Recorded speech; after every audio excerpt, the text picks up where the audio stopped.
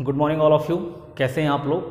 I hope you all will be fine and now आज जो हम डिस्कशन करेंगे, वो होगा class eight science NCERT book का chapter number five coal and petroleum का पार्ट थ्री इससे पहले मैंने इस चैप्टर के दो पार्ट्स की वीडियोस बना चुके हैं। प्रीवियस पार्ट में हमने पेट्रोलियम के बारे में डिस्कशन किया था कोक के बारे में कोलतार के बारे में एंड कोल गैस के बारे में डिस्कशन किया था। आज जो हम डिस्कशन करने वाले हैं, वो होगा रिफाइनिंग ऑफ़ पेट्रोलियम जो कि आपके बुक के पेज नंबर 59 से स्टार्ट होगा। आप देखेंगे, ठीक है? मैं यहाँ पर बोलते जा रहा हूँ, समझाते जा रहा हूँ, आप अपनी बुक पर भी देखते चलें। ना petroleum is a dark oily liquid it has an unpleasant order order का मतलब होता है गन ठीक है? कि एक डार्क ब्लैक कलर का लिक्विड होता है, जिसकी जो जिसका जो ऑर्डर है, वो अनप्लीसेंट होता है। यानी इसकी गंध जो होती है, वो अप्रिय होती है।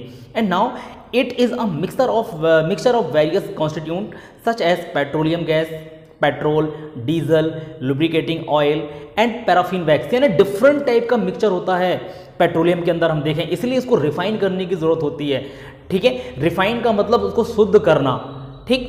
तो यहाँ पर लिखा है, देखिए कि the process of separating the various constituent fraction of petroleum is known as refining कि इन्हीं डिफरेंट टाइप के जो कॉन्स्टिट्यूट हैं, उनको अलग करना। ठीक है? उनको सेपरेट करना ही रिफाइनिंग है। And now it is carried out in a petroleum refinery इसको हम पेट्रोलियम रिफाइनरीज कहते हैं। No various constituent of petroleum and their uses are given in the table ठीक है? आप ये टेबल देखिए यहाँ पर, ये टेबल 5.1 है जहाँ पर लिखा है कि various constituents of petroleum and their uses की बहुत सारे जो कॉन्स्टिट्यूट निकलते हैं पेट्रोलियम के, उनके यूजेस क्या क्या होते हैं? सबसे पहले लिखा है petroleum gas and liquid form जिसको हम एलपीजी बोलते हैं, जो कि fuel for home and electricity आपके घर में जो गैस यूज़ किया जाता है गैस की जो टंकी होती है, चाहे वो इंडियन की हो या एचपी की हो, इसमें एलपीजी भरा जाता है लिक्विड पेट्रोलियम गैस भरा जाता है। एंड नाउ दूसरा है पेट्रोल पेट्रोल का यूज़ आपको मालूम है किन किन चीज़ों पर पेट्रोल का यूज़ किया जाता है। थर्ड नंबर पर है कैरोसिन कैरोसिन भी आप जानते हैं कि स्टोव लैम्प ठीक है फॉर जेट एयरक्राफ्ट में भी इनका यूज़ किया जाता है। फिर डीजल है lubricant oil paraffin wax and bitumen ठीक है? तो आप ये टेबल को अच्छे से देख लें और इसको रीड करें।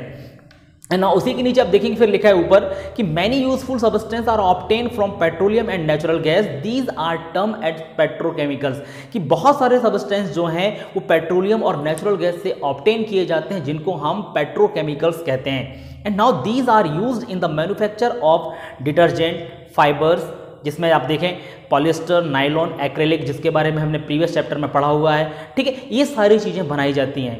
And now polythene and other man made plastic hydrogen gas obtain from natural gas ठीक है? बहुत सारे पॉलीथीन जो मैन मेड होते हैं, वो भी इनसे बनाए जाते हैं। और बेसिकली यहाँ पर लिखा कि hydrogen gas hydrogen gas obtain from natural gas is used in the production of fertilizers, urea. Due to its great commercial importance, petroleum is also called black black gold ठीक है, कि हाइड्रोजन भी बनाई जाते हैं, जिसका यूज़ यूरिया बनाने में किया जाता है, और इसके बहुत सारे कमर्शियल यूटिलाइजेशन है। ठीक है, इसीलिए पेट्रोलियम को ब्लैक गोल्ड कहा जाता है, यानी काला सोना कहा जाता है। नाउ 5.3 नेचुरल गैस जहाँ पर लिखा है नेचुरल गैस के बारे में कि natural gas is a very important fossil fuel because it is easy to transport through pipe कि ये बहुत ही इंपॉर्टेंट सबसे पहली चीज़ तो फॉसिल फ्यूल है, ठीक है? और फॉसिल फ्यूल इंपॉर्टेंट होने के साथ साथ इसका जो ट्रांसपोर्टेशन है, वो इजीली किया जाता है थ्रो पाइपलाइंस की। पाइपलाइंस के द्वारा इसको इजीली ट्रांसपोर्ट किया जा सकता है। नेक्स्ट देखेंगे, इसी पर लिखा कि natural gas is stored under high pressure as compressed natural gas ठीक है? कि इसको हाई प्रेशर पर स्टोर किया जाता है, ठीक है? इसीलिए इसको कंप्रेस्ड नेचुरल गैस कहते हैं सीएनजी कहा जाता है। Now C N G is use for power generation it is now being use as a fuel for transport vehicle because it is less polluting it is a cleaner fuel ठीक है? कि हम देखें कि इसका जो सी का जो यूज़ है, वो पावर जनरेशन यानी विद्युत को उत्पन्न करने में लाइट इलेक्ट्रिसिटी जनरेट करने में किया जाता है। लेकिन आजकल इसका जो यूज़ है, लिखा है कि it is now being use as fuel for transport vehicle because it is less polluting कि ट्रांसपोर्ट व्हीकल जो हैं, जो गाड़ियाँ चलती हैं, उनमें भी सीएनजी का यूज़ किया जाता है क्योंकि ये लेस पॉल्यूटिंग होते हैं। ठीक है? पॉल्यूशन से मुक्त होते हैं। पॉल्यूशन होता है, लेकिन कम होता है। And now it is a cleaner fuel इसलिए इसको क्लीनर फ्यूल कहा जाता है, यानी स्वच्छ ईंधन कहा जाता है, जो कि पॉल्यूशन लेस होता है। नाउ द नेक्स्ट लिखा है इसी पर नेक्स्ट पैराग्राफ देखेंगे पेज नंबर 61 पर पहुँच चुके हैं हम।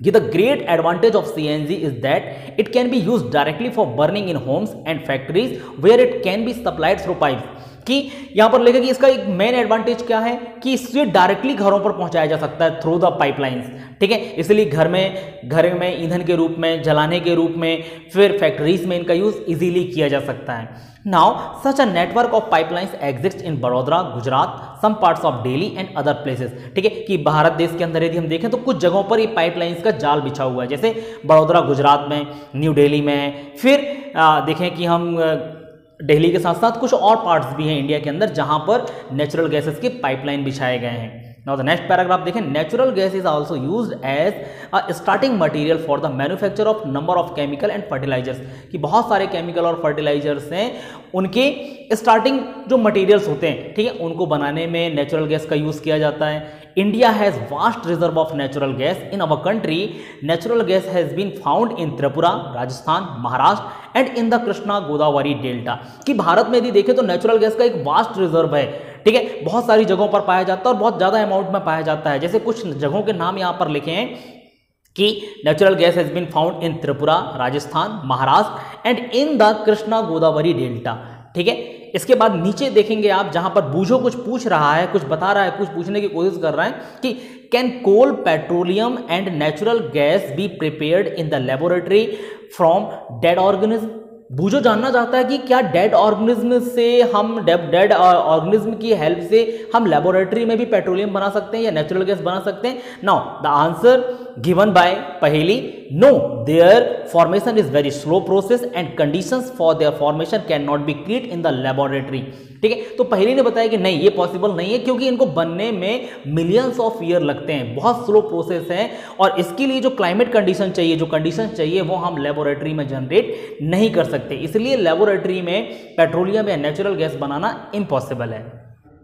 Now the next 5.4 some natural resources are limited ठीक है, हम कुछ नेचुरल रिसोर्सेज के बारे में पढ़ेंगे आप इस टॉपिक पे कि कुछ जो लिमिटेड है, ठीक है? जैसे यहाँ पर लिखा है पैराग्राफ में देखेंगे कि you have studied in the beginning of the chapter that some natural resources are exhaustible like fossil fuels and forest minerals ठीक है? कि कुछ नेचुरल रिसोर्सेज के बारे में हमने जब चैप्टर के स्टार्टिंग में ही पढ़ा था कि कुछ नेचुरल रिसोर्सेज जो होते हैं वो एग्जॉस्टेबल होते हैं। एग्जॉस्टेबल का मतलब कि एक बार हमने यूज़ कर लिया, एक बार एग्जॉस्ट हो गए तो हम दोबारा उसको प्राप्त नहीं कर सकते। जैसे कुछ एग्जाम्पल्स हैं like fossil fuel forest and कुछ मिनरल्स नेक्स्ट पैराग्राफ में देखेंगे, लिखा है कि you know that coal and petroleum और फॉसिल फ्यूल कि अब तक हम पढ़ते आए कि कोल और जो पेट्रोलियम है वो फॉसिल फ्यूल्स के एग्जांपल हैं। और फॉसिल फ्यूल्स के बारे में हमने क्या पढ़ा?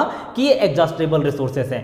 And now it require that dead organism millions of year to get convert into this fuel कि जो डेड ऑर्गेनिज्म होते हैं, ठीक है डेड ऑर्गेनिज्म को फॉसिल फ्यूल बनने में, फ्यूल्स बनने में मिलियंस ऑफ़ ईयर लग जाते हैं। हाई टेम्परेचर चाहिए, दबाव चाहिए, जो कि वो नीचे दबने के कारण मिलियंस ऑफ़ ईयर के बाद ऐसी क्लाइमेट कंडीशंस ऐसी कंडीशंस क्रिएट होती हैं कि वो डेड ऑर्गेनिज्म से पेट्रोलियम या कोल बनते हैं। And now on the other hand the known reserve of these will last only a few hundred years और जो हमारे पास नॉन रिज़र्व है नॉन रिज़र्व का मतलब आप समझ लें कि ऐसे कोल रिज़र्व या पेट्रोलियम के रिज़र्व जो हमको पता है ठीक है, कि यहाँ से पेट्रोलियम मिलेगा, यहाँ से कोल मिलेगा और कितने अमाउंट में मिलेगा। तो उनको हम नॉन रिज़र्व बोलते हैं। तो उनके बारे में एक डाटा यहाँ पर मेंशन किया गया है कि ऐसे यदि नॉन रिज़र्व जो हैं, वो जो अवेलेबल हैं यहाँ पर, वो लगभग आने वाले कुछ सौ सालों तक ही चलेंगे। उसके बाद वो खत्म हो जाएँगे। And now moreover burning of this fuel is a major cause of air pollution ठीक है, और जिस तरीके से हम इनका यूज़ कर रहे हैं, इनको बर्न कर रहे हैं इन फ्यूल्स का, ठीक है, वो एयर पॉल्यूशन के लिए भी एयर पॉल्यूशन के रीजंस में आते हैं कि एयर पॉल्यूशन भी इनके कारण हो रहा है। नेक्स्ट देखेंगे लिखा है कि their use is also linked to global warming और इनके यूज़ से ग्लोबल वार्मिंग भी हो रहा है। ग्लोबल वार्मिंग का मतलब ग्लोब का गर्म होना, यानी टेम्परेचर का राइज करना। ठीक है? Excess of carbon dioxide global warming बढ़ रहा है। ठीक है? तो इनके यूज़ से भी ग्लोबल वार्मिंग हो रहा है। And now it is therefore necessary that we use this fuel only when absolute necessary इसलिए कहा गया है कि हम इन फ्यूल्स का यूज़ तभी करें जब हमको बहुत ज़्यादा ज़रूरत हो। And now this will result in better environment smaller risk of global warming and their availability for a longer period of time ठीक है? तो इनका यूज़ नेसेसरी चीज़ों पर करने के लिए क्यों कहा कि जब हमको नेसेसरी हो तभी हम इन नेचुरल रिसोर्सेज का यूज़ करें। इससे क्या होगा कि हमारा इन्वायरमेंट जो बेटर बना रहेगा। And smaller risk of global warming global warming भी धीरे धीरे कम होने लगेगी। और यहाँ पर लिखा है कि their availability for a longer period of time और इनकी जो अवेलेबिलिटी है वो लंबे समय तक चल सकती है। And now in India the petroleum conservation research association PCRA PCR PCRA का फुल फॉर्म होता है पेट्रोलियम कंजर्वेशन रिसर्च एसोसिएशन जो कि इंडिया में है। ठीक है? Advice people how to save petrol diesel while driving their tips are कि उन्होंने ये टिप्स दिए हैं कि जब आप ड्राइव करें तो पेट्रोल और डीजल को सेव कैसे करें। कुछ लिस्ट, कुछ एडवाइस हैं, कुछ टिप्स हैं जो यहाँ पर मेंशन है, आप देखें। फ़र्स्ट लिखा है कि drive at a constant and moderate speed as far as possible कि जब तक पॉसिबल हो, आप मीडियम स्पीड में चलें, ठीक है कांस्टेंट स्पीड में चलें और मॉडरेट मीडियम स्पीड में चलें। ज़्यादा तेज चलाने की ज़रूरत नहीं है। दूसरा लिखा है कि switch off the engine at traffic lights और at a place where you have to wait कि जब आप ट्रैफ़िक सिग्नल पर फंसे हो तो अपने इंजन को स्विच स्विच ऑफ़ कर दें, या कहीं पर आप किसी का वेट कर रहे हो तो भी आप अपने इंजन को स्विच ऑफ़ कर दें. And now the third ensure correct tyre tyre pressure और ये देख लें कि टायर का जो प्रेशर है, वो करेक्ट होना चाहिए. ना ज़्यादा कम होना चाहिए, ना ज़्यादा ज़्यादा होना चाहिए. नाउ द लास्ट लिखा कि ensure regular maintenance of the vehicle और आप हमेशा अपने व्हीकल्स को रेगुलर मेंटेन करें.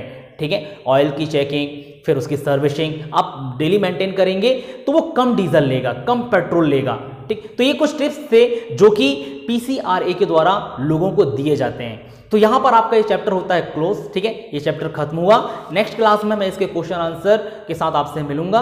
आज के लिए बस इतना ही। Thank you so much